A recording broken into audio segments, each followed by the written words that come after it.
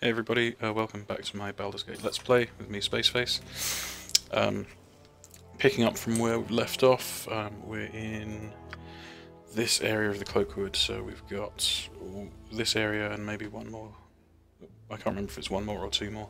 Um, we've got a few, uh, a couple of areas to do to finish out this um, this bit of story. Looks like quite a big map, so uh, we'll get cracking. Now, um, I had mentioned uh, so first of all, first thing I need to do is apologise for the last, it's either the last one episode or two episodes, um, missing the game audio. Um, unfortunately, I didn't have a save far enough back to go back and uh, and re-record those episodes. So I've just put uh, put some music in place in the background. So sorry about that. Um, bit of a, a screw up on my part, but the um, at least we have uh, the commentary is still there, um, so it's just game audio. So missing spell sound effects, um, sword swings, all that kind of stuff. So obviously a bit um, a bit depressing, but nothing that we can't live without. And uh, it is now resolved, uh, so shouldn't be happening in any episodes going forwards. Um, second thing that I wanted to talk about is I was discussing um, taking a level of warrior for Imoen um, in order to be able to use that longbow plus two. Um, but of course, what I forgot is that's not really possible. Um, I could dual class Imoen, um, but in order to be a fighter thief, really you want to start with a fighter. Like you can't just splash one level as a human when you dual class you um, she would she would basically reset to level one as a fighter um, and lose access to her thief abilities uh, and she would not gain those back until she um, caught up in levels. So yeah not a really good solution. Um, and also canon wise uh, looking to go into into Baldur's Gate 2 she dual classes into a mage. So not not ideal. Um, so that leaves us with a bit of a tricky prospect. Um, we we can't have Viconia or Jaheira use the bow. The only people who could use the bow is Minsc or um, Khalid, who are our frontline fighters. So we will probably end up just not using that bow, which is a bit of a shame because it's um, really nice. I'm just going to check for traps here. This looks like a prime location for traps, but I guess not. Um, so yeah, it looks like we're probably just not going to end up using that bow, which is a bit of a shame. And, also it means that we are going to have to be in the market for a new ranged weapon for Imoen. Um, now, I did have a look through what um, what weapons are available, um, and it seems like perhaps our best bet. Combat's gotten all fucked up here. There we go. It seems like uh, we've got a few options. Um, uh, and our best bet is probably um, the crossbow, uh, light crossbow of speed, which gives us extra attacks um, and is available for sale at the Thunderhammer Smithy. So we will, um, after Cloakwood, we'll probably head back there and pick that up. But it does also mean that all these arrows that we've been hoarding are going to be pretty useless. Um, because we won't have an actual archer. Unless we change either Minsc or Khalid over to use the bow. Um, so actually what I might do now, Minsc is pretty pretty tough as our frontline fighter. Um, so screw it. For the moment, I'm going to chuck this bow onto Khalid, just to see how we get on. Um, and if it turns out decent, then, you know, it's decent. Um, bows are really, really good. Um, the fact that arrows um, they it, they fire quickly. You get lots of uh, attacks per round, um, and uh, it interrupts spellcasters. Uh, and also, it means that you don't actually have to trudge all the way into combat. Um, you can start attacking as soon as something appears on your screen. So, um, especially in Baldur's Gate uh, 1, a party of mostly archers or entirely archers is very strong. Um, you know, the same way that kobolds wreck you from across the screen because they get loads of attacks. Uh, you can do exactly the same thing to uh, to the kobolds. So. Uh, let's move me out of combat. There we go. Go for the eyes, Boo! Go for the eyes! Can I help you? So you do get penalised, if I remember rightly, for um, ranged attacking in close combat. So we'll have to keep an eye on that and switch it back.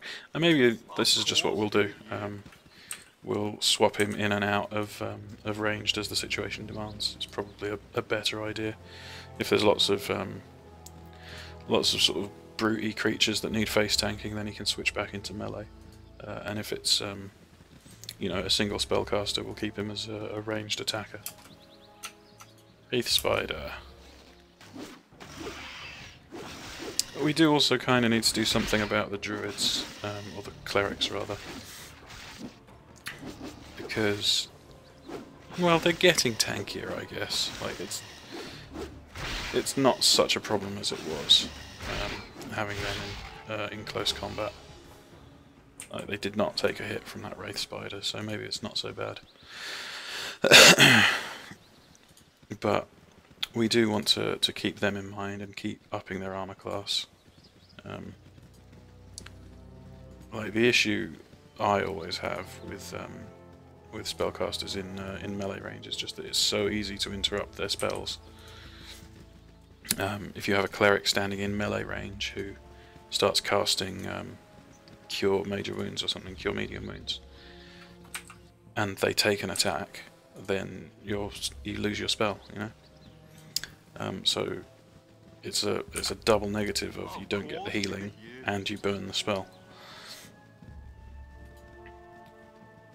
But with that said, they can't um, they can't use ranged weapons, um, or they can't because uh, that was one of the things I was considering doing was um, giving either Jaheira or Viconia the um, plus two longbow, but neither of them can use it.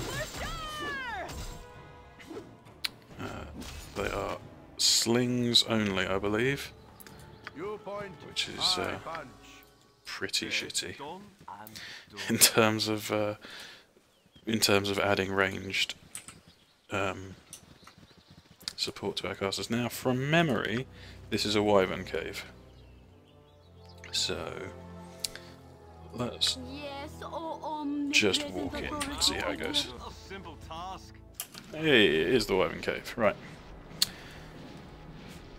Let's take out the big ones first, I think. We're going to drop a glitter dust. And we're also immediately going to bless the party. And we're going to chant as well.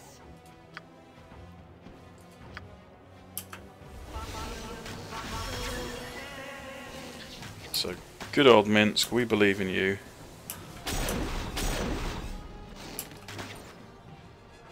Um, I think we might need to send Khalid in there as a melee to tie up some of these guys.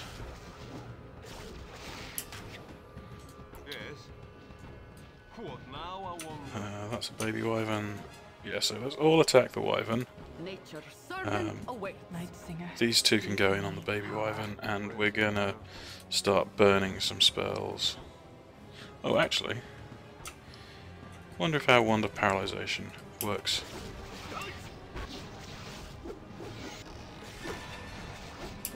Now, Minsc is taking an absolute kicking.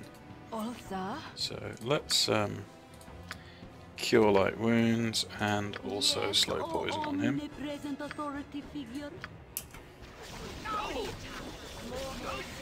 Not enough. He's going down. Yeah. Okay. Um, what I will try before I reload is um, just dropping asleep. I don't think this will work, but I want to see what my saving... Yeah, no effect. So we will reload um, and re-enter. And this time we're going to switch Khalid straight into melee before we even go in. What now, I? Uh, and Imoen we're going to switch over to plus one arrows Where to now? because we just really want to drop the two big wyverns as fast as possible. bless. Chant. Um, Yes. glitter dust again.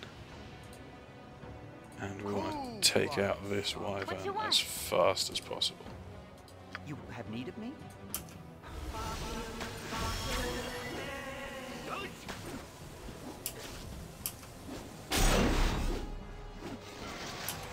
Okay, and now we're going to basically stand behind Minsc healing him. So just immediately start dropping healing spells. You point, I punch. Everybody gets onto the other wyvern. There. Uh, Jaheira somehow has managed to get into fucking tanking the wyvern, so we'll try and run her away and immediately kill poison. Of course it didn't work. See, it's really irritating because poison interrupts your spells. Come on, just drink the. Okay, now run away. Okay, that's looking better. So we got rid of the two big wyverns. Lots of XP. Jaheira just about survived. We'll heal her as well while we're at it. Uh, and now let's nuke down these baby wyverns.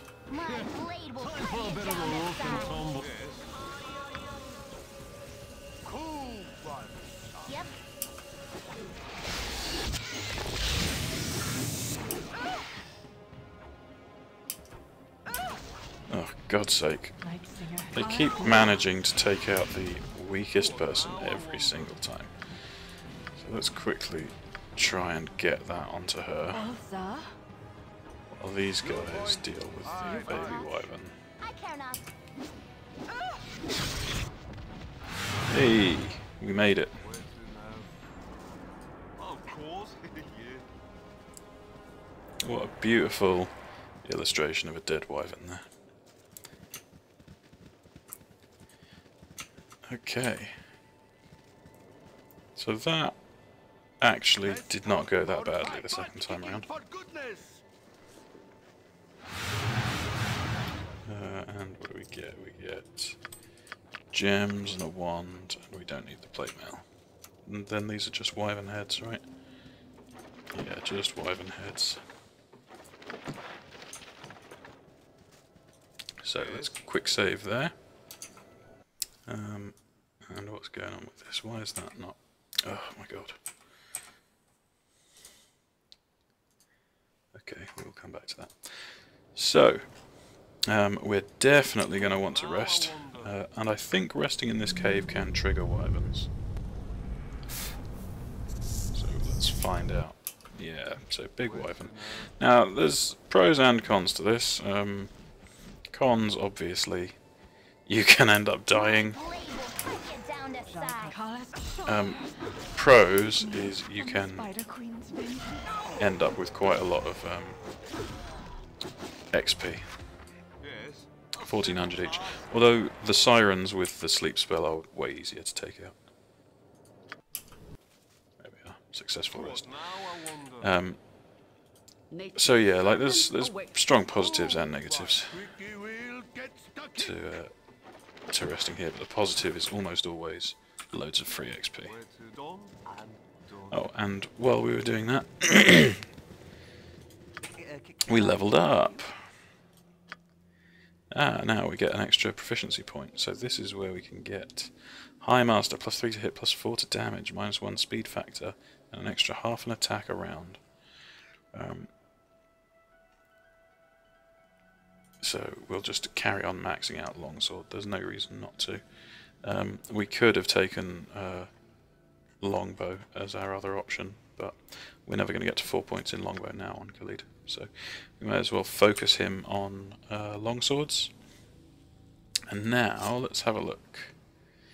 So dual wielding longswords does not affect his main hand to hit. Uh, doesn't. Uh, it does affect his AC, so he loses two AC. Um, but how many attacks does he end up getting? Plus four bonus proficiencies. Doesn't actually say the number of attacks. Um, I'm pretty sure him dual wielding is preferable to um, sword and shield. So we'll try him out with it anyway uh, and see how it how it goes. Um, if there are any problems, we can just switch him back, nice and easy. Um, I've been talking about doing it for ages, but Minsc, we still we want him to to dual wield. Oh, he does have the he's got the other Warhammer plus one equipped. Um, so what is he? 10 to 19 damage with 11 to hit. This would raise his offhand to hit quite a bit. But how are his proficiencies on Warhammer? Uh, it's only plus one on Warhammer. Oh wait, no, that's doesn't actually say his proficiencies. Proficiencies plus two. No proficiencies. Oh, so okay, so he's just um he's just on base or one rather. So eight to eleven, eight to eleven, eight to thirteen. 13, yeah, I do think him dual wielding is better than him using the sword. So he gets 11 to hit and 10 to 19 damage. And there he's slightly higher to hit, but more attacks, more damage. So we'll try them both as dual wielding fighters as we Yes. progress. Of course. yeah. Um, now, how are we in terms of this map is almost complete. There's just this area left to cover. So let's um, let's head there, and then we can cross this map off of our list and proceed to the mines of Cloakwood, um, which was the area we uncovered uh, when we hit the edge a minute ago. Um, and the mines is the last area in Cloakwood, so we're almost there in terms of main story. Let's cross this narrow stone bridge. Just some baby wyverns. Get our dual wielders in place. Yeah, that does seem better. It seems like we get a lot more attacks.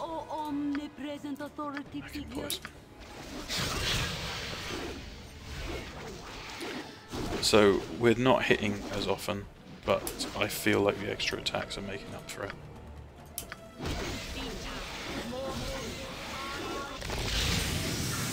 What now, I wonder? And this is purely a perception thing on my part rather than a mathematical thing. Um, I haven't, I obviously haven't sat down and worked out which is better. I'm just going on, on feel.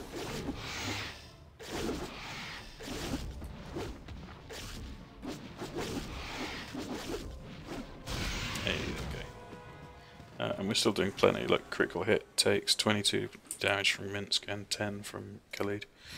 So they're still hitting pretty hard. Um, and when we do get Minsc onto, like we will eventually swap him over onto onto hammers um, entirely. So his proficiency points from now on will go into warhammers. Um, Points as he gets them. I don't think he gets very many. I don't think um, anybody except fighters can go above two in Baldur's Gate. Um, but whenever he does eventually get his next proficiency point, it'll go in Warhammers, and uh, we will give him that plus two Warhammer, and he'll have the plus.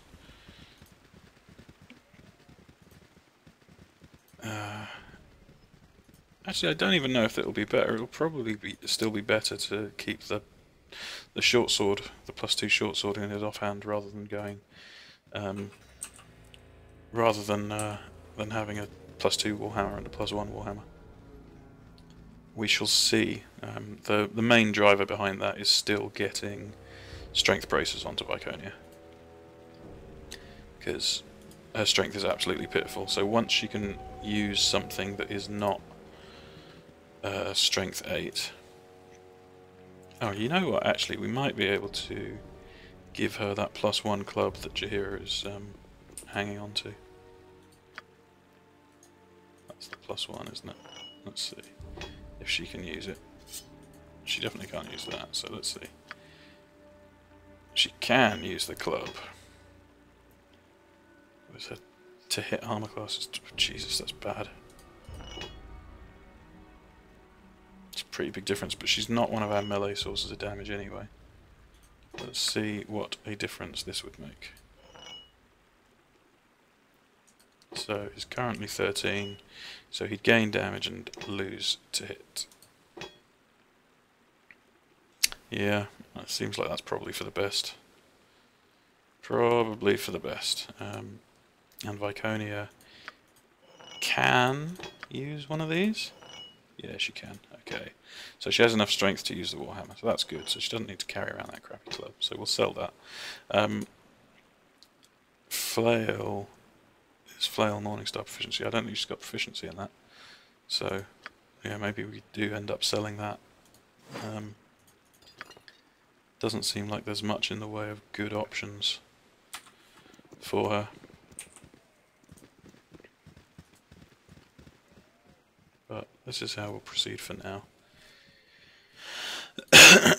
so let's head on forwards and we'll probably overrun in this episode. Um, we'll see. I'd quite like to keep this in one episode if we can, but You have been waylaid by enemies and must defend yourself. uh-oh. A simple task. Send these guys over You're here. fellow. You point. I find. My blade will cut you down to size. What you want? I've done had. Let's try and kite this one around while um, while the other guys batter Yep, that one. I've done had.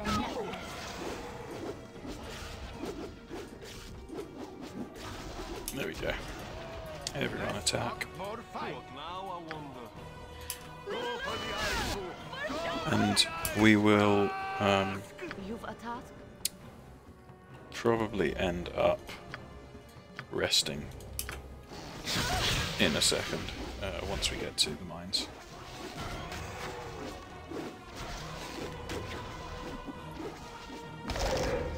Hey, nice. Where to now? How are we for XP? Not far, not far off. A simple task. So keep travelling towards the mines. Um, and like I say, once we get here, Yes. we're going to quickly save and rest. Splendid. Now, I wonder? So the Cloakwood area, there's not much to it apart from the mines. I don't think. Um, oh, sorry, the mines area, I should say, because all of this is the Cloakwood. So let's just see whether I'm right or whether I'm talking out my arse as usual. Let's head up this way and reveal the map. Yeah, so the edge of the map is here. We'll hit the edges just to uh, to get travel points. I don't think there really are any. No. A simple task. What are these? These are just regular Go for the wolves. So they're going to drop pretty quick. My blade will. And yeah, I do think we're probably going to end up. Finish finish that stack of eight. We're not that worried about it. Um, we're going to end up swapping Imoen um, from uh, bow to crossbow, from short bow to crossbow. Lakada, stop and state your names. Uh, you don't need to know our names. Eyes of the Iron Throne. Get 'em. Okay. Yes. Hopefully, seeing as these are peoples, we can. Uh, we can sleep him. Yeah, down they go.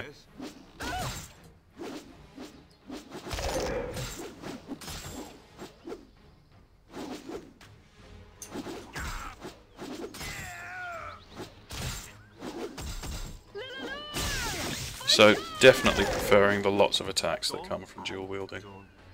Um, I know I said this was um, mostly a matter of feeling, but it definitely feels better. Wonder? Minsc and Khalid both just kind of wailing away, tearing through bad guys.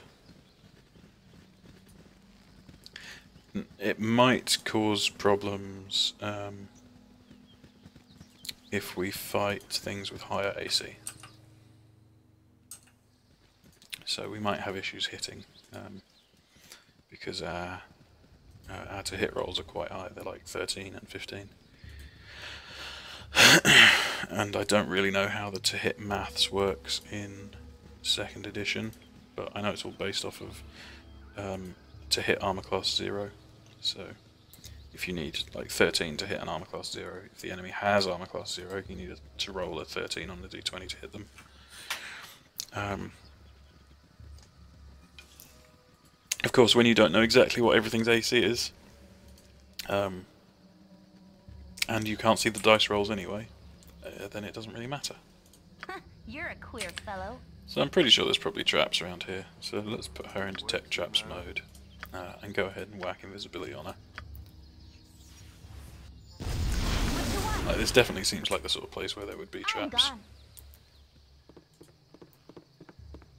So we can scout ahead in invisibility anyway. Doesn't seem like there's any traps on the bridge. Two guards there. Uh, I remember this fight. This fight's always been a pain in the ass because of the two wizards. So we're going to have to try and use our uh, silence effectively if we can.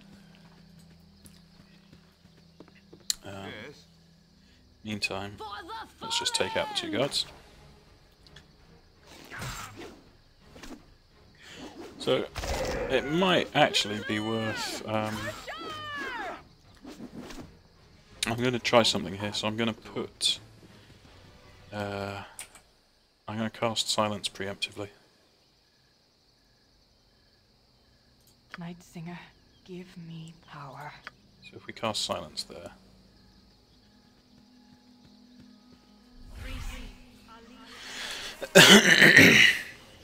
always kill the mouthy one. That's what I always say. Okay, we got the spell off. May darkness prevail. Uh, okay, so it looks like we silenced a couple of people, My blade will cut you down to size. Where to now? Done. and we're also going to chuck a sleep spell down there.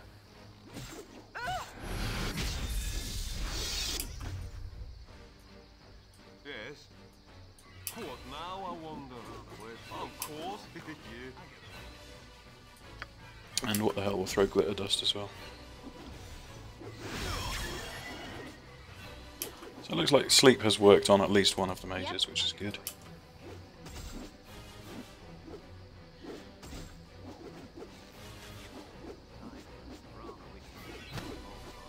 Come on, guys. This is dumb. There we go. Right, now take out the mage. And there's the other mage. Now we want to take him out pretty quickly as well.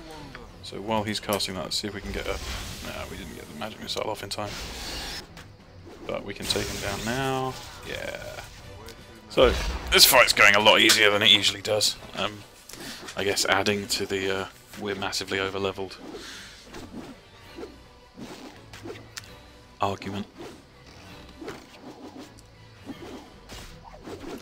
You can see um, we are just not hitting as often. These four guys are just swinging and swinging at this guy and not hitting him. Now, if we switch Minsc to two-handed sword, let's see. That is not hitting that often anyway. Doesn't seem to be making that much difference. So let's swing it back to hammers.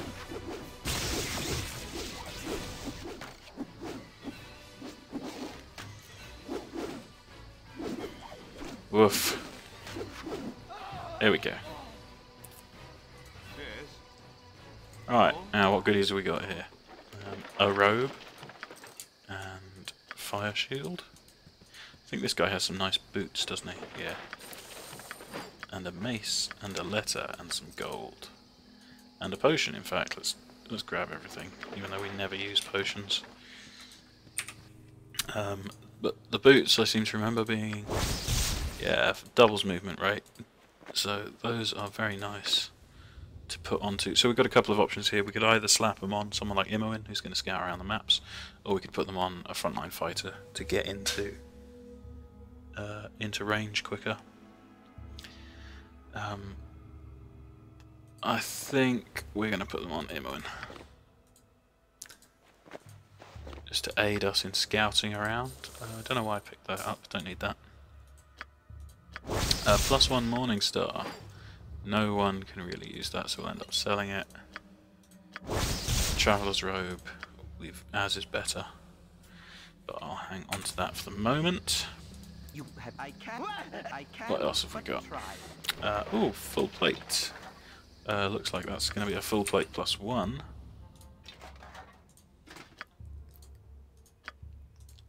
Yeah, Valorian's plate plus one, so full plate plus one. Very nice.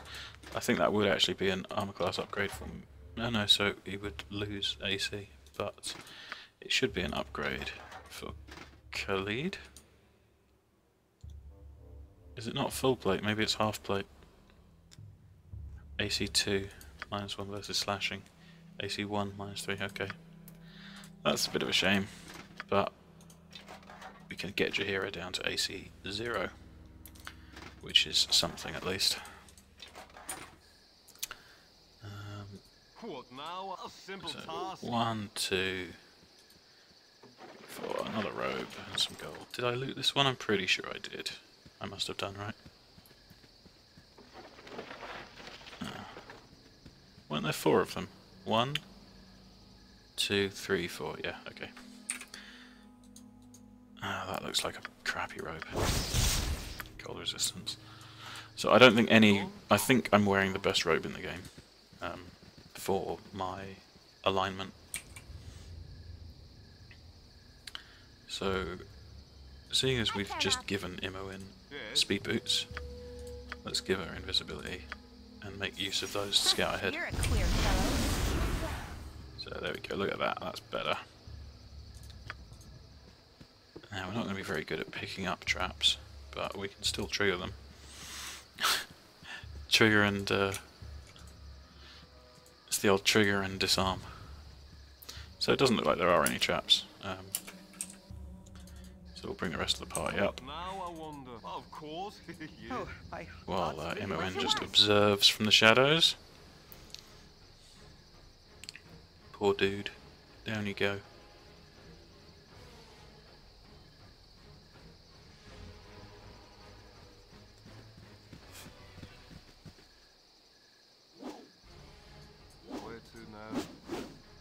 I don't know what's happening with the um, the combat the, or the pathing. It just seems to be repeatedly getting stuck. I don't know why. But the guard is down. Oh, we need to read the uh, the letter, don't we? So let's read the letter. We have need of your services yet again, Drasus. We're experience we are expecting an incursion at our mine location in the Cloakwood. You are to accompany Devion to the site to prevent entry or assault anyone foolish enough to challenge you. Standard fee shall be doubled in this instance. If it goes well, you should look forward to more of the same. So it didn't go well. Right, so we're going to save here. Um, and we will end the episode there. Um, and the next episode will be us clearing out basically the whole of the mines. So thank you very much for watching, and uh, I'll see you next time.